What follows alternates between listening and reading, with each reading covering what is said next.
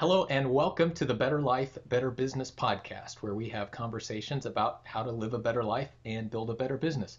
Welcome. Thank you for being here. I am your host, Shawn Ellis, and today I am excited to share our special guest with you. Uh, Janice Marturano is the founder and director of the Institute for Mindful Leadership. Before that, she was a vice president at General Mills, and she's the author of a brand new book titled Finding the Space to Lead which we'll be talking about today. And uh, it's on sale everywhere right now, so you can go get a copy. And as a matter of fact, uh, Janice's publisher has graciously uh, allowed for us to give away a few copies here. So uh, read below for, for details on that. But uh, Janice, welcome and thank you so much for being here. Oh, thanks, Shawn. It's a pleasure to be here. I'm happy to uh, talk with you about mindful leadership. Very good, very good. You know, I my mindfulness journey started a couple of years ago and um, and I found about it, found out about you somewhere pretty early along, early on along the way. Just uh, I, am very intrigued by the intersection of mindfulness and, and business, which I know is right where where you operate. And and I have to give a shout out to our mutual friend Elmo Shade, who finally yeah. made the introduction. So um, so I'm grateful mm-hmm. for that, and and again just to to have this time with you today. Great. Looking forward to it. Um, good. Well, today, what I'm thinking, uh, what I'd love to talk about your your book, of course. Um, but what you know what is finding the space to lead?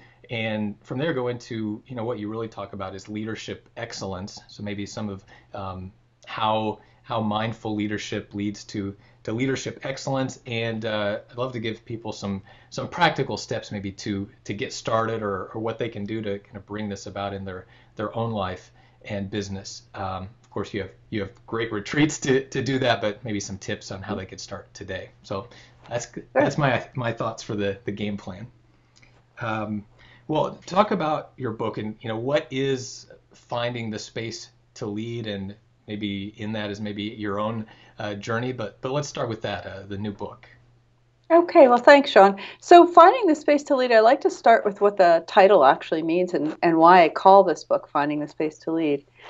In the many years that I began uh, working in teaching mindful leadership, first with my colleagues at General Mills, and then since 2008 to leaders from around the world, I often heard, and in fact had seen this myself for the decades where I was a, a leader in an organization. I saw this as, you know, the best leaders are these people with, they're well trained, they have bright minds, they have good hearts, and they execute, and that's how they became leaders, and that's how they do their jobs well but there was always this nagging sense that something wasn't quite right. There something was missing or they needed something else. And in many, many conversations over many years, when I started to explore this, and of course I had felt this in my own life before I began this uh, mindfulness training, uh, I asked, well, if there was one thing that you could have what is it that you need so that you could bring your best self, all of your capabilities, more of your creativity to this moment? And they never said, well, we need more budget, we need more resources. They never said any of that.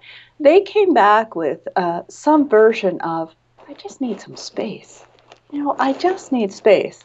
And that certainly, I think, has uh, rang true for me and in the hundreds and now thousands of people that have been trained in mindful leadership, really what has happened to us in our culture today, uh, in whatever capacity you are working, um, is that we're so overconnected, overscheduled, overbusy that our minds are in a state of continuous partial attention. We're always distracted. We almost never can be fully in this moment. And as a result, we rarely bring our best selves because we go into a kind of autopilot. Yeah, that that uh, phrase or label continuous partial attention. I mean, it's it's so true. And you know, the, in your book, you um, you tell the story, if I've got it here, of a, a, an executive. I think maybe his name was uh, was Jim, but he talks about he says something like, uh, you know, my day started like like every other day. Um, you know, lots of meetings, too many meetings, too many priorities, too many opportunities. I forget the exact quote. Um, but I, I, think I read that and I thought, well, that sounds sounds like my day. I think that's the way the way we all feel like we live. Yeah, yeah, it's true. And then on top of that, when some emergency enters our life or something, so we're busy juggling all of that. And then the unexpected comes. So it's hard enough to just juggle all of that. and then something unexpected comes in, and now we're totally lost. Now, now it all falls to the floor. Uh, but even in just the day to day juggling, it starts to take a toll both on us physically and on us, our capacities mentally.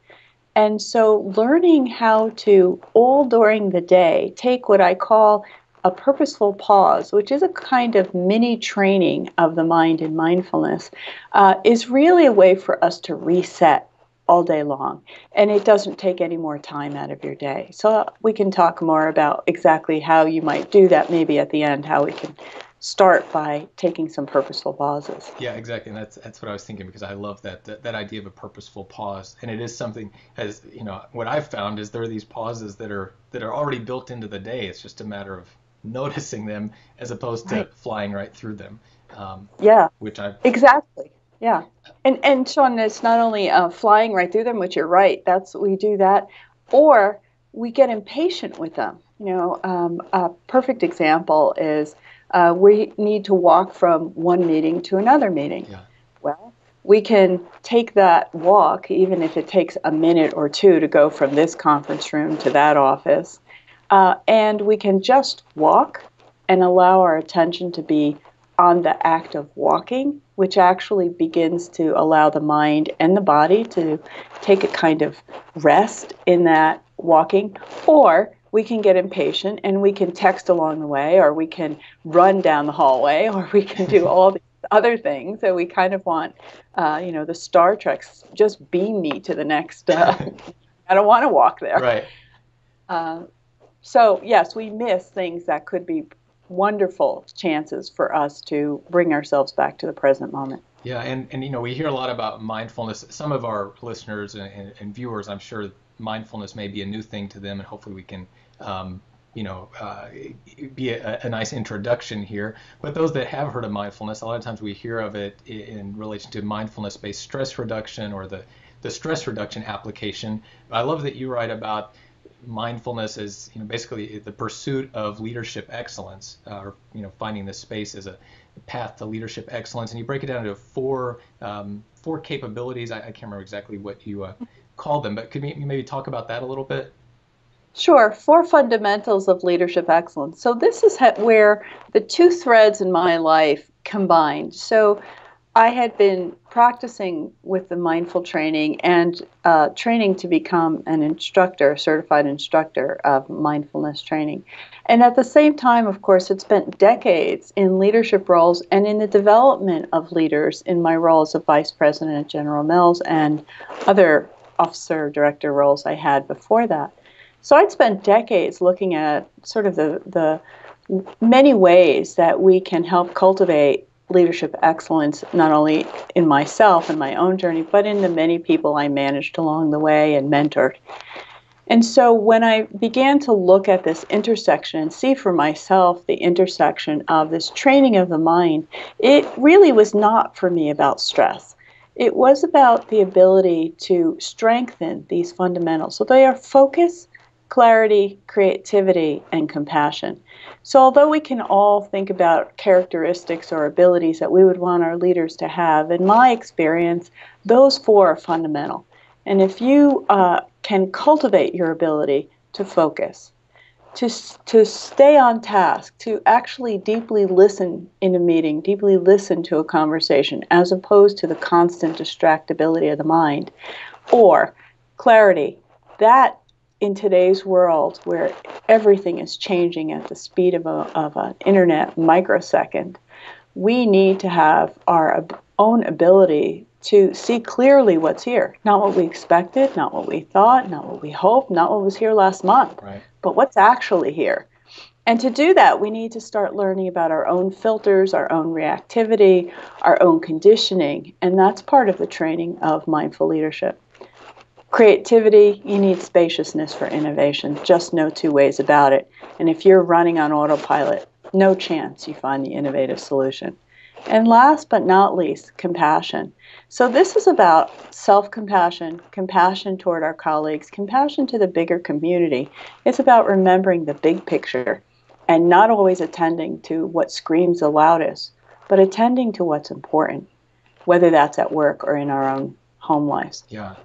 Yeah, I, I love those. You know, the, the clarity one, what I was thinking of when you said that. Um, I know for me personally, that's been one of the, the biggest benefits I've found with, with mindfulness, of course, leading a small business and, you know, the ever changing marketplace for business, um, but also at home. Uh, my wife, we live with chronic illness here and, um, you know, kind of never know what one day is going to hold, what, you know, what the next moment is going to hold. And it's easy to get, you can either get swept away by the moment it just kind of rocks your world because it didn't go the way you thought it would go, or to you know to be able to really pause and okay this you know this moment is what it is and trying to see clearly what is the you know the right thing right now what is the, the appropriate response here.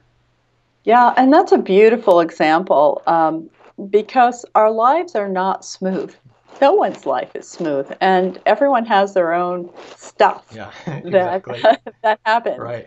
And, and it's actually an i have found it just this extraordinary gift to be able to uh, expand my repertoire of how I meet that stuff when it arises. So that's really what we're doing. It's not like that stuff is any less difficult or complex, yeah. but it's about, well, I can react to this, I can deny it, I can push it away, I can be angry about it. And or I can see when that stuff arises and make a more conscious choice about bringing my best self to that moment. Yeah. That's what we're talking about in, in the area of clarity. Right. Yeah, and exactly. And I'm glad you said that because yeah, it's not as if uh, mindfulness makes everything, all the problems go away, all the challenges go away. It's you know being able to meet them more effectively. Um, yep. The compassion piece, I was really interested in that, and I read something, um, a blog, and I'm, I'm, sure you have too, that uh, the LinkedIn CEO wrote a, a, year or two ago. Talking, he said that. Uh, the principle of managing compassionately is one that he aspires to live more than any other and you know he wrote about how important that is to, in his leadership and management. What um, what do you find uh, as you talk with leaders? What is the response to this idea of you know leading with with compassion? Because I know as a you know having worked with you know with different managers and leaders, of course anybody wants to work in that environment where you, you're with somebody that you know they really care about you. But at the same time, it goes a little bit against the old school thinking of you know you kind of leave your problems at the door. I, I don't want to know what what you've got going on in your personal life, you just show up and do your job. Um, you've worked obviously with a lot of leaders in a lot of different organizations. What um, what do you find talking with them about the compassion piece? Yeah, it's a, a really nice question. Um, first, to put compassion as as uh, we talk about it in finding space to lead, and as we teach it at the institute, compassion means understanding and when we actually make the effort to understand what's here, so it's not about sympathy or empathy, it's not about com- becoming somebody's psychologist or, you know, best friend. It, but it is about an open hearted understanding of what is here. Um, and that starts with what is here for me. And that often what I've found is that piece is actually the most difficult one for the really good leaders, the best leaders. It's easier to say, yeah, I really want to be open hearted and understand what someone else is carrying. Uh, and if there's some way that I can offer an act of kindness or support or, or listening, then I do care about other people and I want to be able to do that. But turning the lens to ourselves and really looking clearly at well, what do I need here? And what's the suffering or what's the difficulty in my life? And is there an act of kindness I need to give to myself? Sometimes that's the harder thing to do. Um, because, first of all, you have to acknowledge that there are things that are difficult in your life and that there are steps you might be able to take that are different. Um, so, that but without the self-compassion it's almost impossible to be truly compassionate toward others. And the third part of compassion for me is compassion to our community. And that's where the leadership has the opportunity for the win-win-win what i call the win-win-win. So good for the organization good for the employees in the organization and good for the community. And when we cultivate uh, the ability to be a mindful leader by working on those four fundamentals, that's when we have our best chance of having the space to make the choices that lead to the win-win-win. Yeah. Yeah, and I'm glad you brought up the win-win-win because I was going to uh, to mention that because I, I love that piece of it. Um, what um, let's talk about some of the ways you can you can move toward this because uh, you know we can talk about what you know what the right thing is, what what you should do, um, but right. then of course putting it into action. That's always uh, the challenge, and thankfully mindfulness provides a path to that. And and a big portion of your book I know is is dedicated to to meditations and reflections to kind of help train your mind. Uh, uh, basically, can you talk to that piece of it and okay, how do we let's say we you know okay, I want to get on board with that. How do we go about doing that? Yes, perfect. Okay, so the training in mindful leadership has three pieces to it. One is meditations, and because I know what it's like to be in the juggler of the 21st century role, whether you're leading a global organization or leading your household, leadership is something we all can aspire to. So I make these first part of the training, the meditations, very simple and very brief. They're 10 minutes, and the recommendation in finding the space to lead is 10 minutes once or twice a day. And so everyone can find something in their lives that's less valuable than training your mind to actually be here for your life for 10 minutes once or twice a day. Right. So that's my first pitch. The second part of the training is the purposeful pauses. And that's the, t- the mini training you can do all during the day with routine events like brushing your teeth or having a cup of coffee or walking down a hallway. And, uh, and then the third part are the reflections. And the reflections are um, really where you start to ask questions about what are the principles of your leadership? Or what do I mean to me uh, when I talk about excellence? What's my definition of excellence and leading with excellence, whether it's leading my own life or leading a global organization. I have to know what that means. How can I how can I get there if I don't know what it means to me? Um, and uh, so those three pieces: meditations, purposeful pause, reflections. The simplest thing for somebody to start right now. They're watching your uh, video blog right now, and they are looking for one thing to try right now. I would say Feel your feet on the floor. You're sitting at your desk and you're watching this, or you're or you're listening to it. Can you bring your attention to the sensations of the feet on the floor? Feeling the weightiness of the legs, touch of the soles of the feet.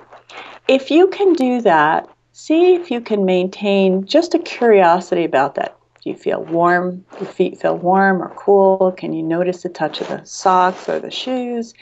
whatever's there for you to notice. And then when the mind drifts away, like back to your to do list or looking at your text or you're hearing pings on your computer, bring it back. Notice when it wanders and bring it back.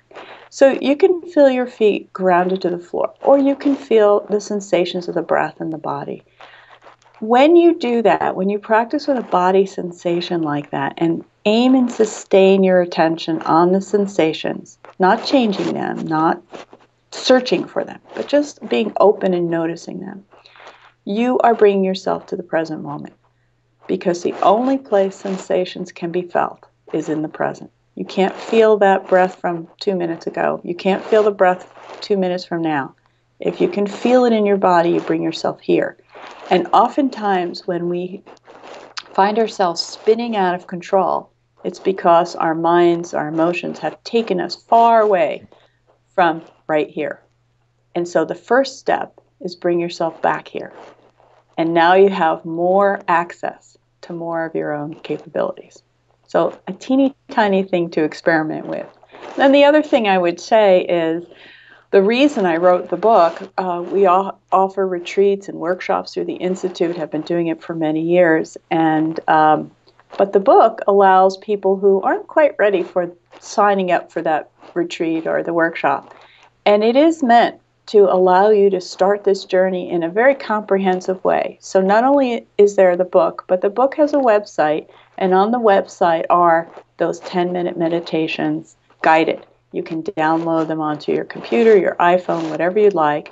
So, it is meant to be a very comprehensive way of let me just start it for myself. Let me see what this is like for a week or two and see if I start getting more a hang more of the hang of it. And I hope it opens the door for many more people. Yeah. Great, and yeah, and I'll link to the website here. Um, let me make sure it's uh, findingthespacetolead.com, right? Yes, that's right. Uh, and all the downloads are free. Right. Yeah, I was I was just checking that out myself. So yeah, great, great resources there. And you know, I, some people that uh, maybe aren't familiar with mindfulness or maybe you hear the word meditation, um, like me, the first time I heard about it, I thought, I, I don't meditate. That's I'm you know that's New Age. That's Buddhist. That's whatever it is. That that word scared me. Um, yeah. But then just just what you uh, led us through there, just that paying attention to your breath, feeling your feet on the floor. All of a sudden, when I realized, wait, that's that's meditation. Um, it, mm-hmm. I, I, think that's one thing that can kind of scare people off. But it's really we're not talking about New Age. You don't you don't have to be a Buddhist or you know whatever it may be. That's right. And uh, I like to think about the training that we do in mindful leadership as training the mind and we know we can train the body's innate capabilities right? If we if we work out we can make the body stronger we can have more resiliency we have better cardio functioning um, and we now know from neuroscience and fMRIs functional MRIs that when you train the, the mind in this way you actually are physiologically changing the brain. And what we're really looking at here is can we train the mind in a way that increases our focus and clarity and creativity and embo- and allows us to embody our compassion. So that's what we're after here. It's sort of the next evolution of yes, we learned about training the body, and now we're learning about training the mind. Yeah, it, it seems so obvious, but it's it's so easily overlooked. Um, yeah you know, you talk about the uh, the ripple effect in your book, which which I love. I, I, think about that myself. Actually, the uh, the logo for my uh, this moment matters work is a, a, drop of water, and the the ripple effect. I often think of that myself, and uh, you can talk more about that. But just starting, just doing one of these little exercises, or maybe maybe it's someone that you know you think well, nobody else in my office practices this. What you know, what difference can I make? Uh, which your own story is a great example of that. But maybe talk about the the ripple effect before we go and how one little thing can um, can go beyond that one little thing. So, if we have a minute, I'll tell a story of. Uh, I, I love this story as an example of the ripple effect. So, um, one of the students who was on retreat with me uh, went back, and her first day back in the office, of course, because she'd been out of the office for two days uh, as she went on the um, retreat. Uh, and she came back, and of course, like all of us, when you're out of the office for any time, your schedule is now crazy. and she was triple booked everywhere. And so she looked at her calendar and she thought, oh, okay, it's going to be one of those days. And she started to look for things that she could jettison or push off to another day. And one of the things on her calendar was a meeting with a mentee that had had a lot of uh, performance issues. And this was sort of the last ditch effort for this woman, and, and we'll just call her Mary for now. But um, and so she thought about putting that meeting off.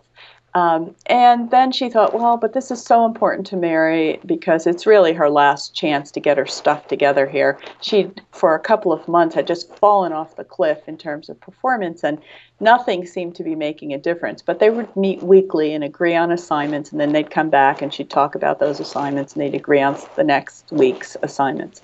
So she said, you know, I better keep that. So she did. But she ran around all morning. Finally came uh, time for that meeting with Mary, and she showed up at one o'clock, and she was rushing herself and came back to her desk and sort of, okay, Mary was already waiting, so she sort of breathlessly said, okay, Mary, great. Uh, so how did the assignments go this week?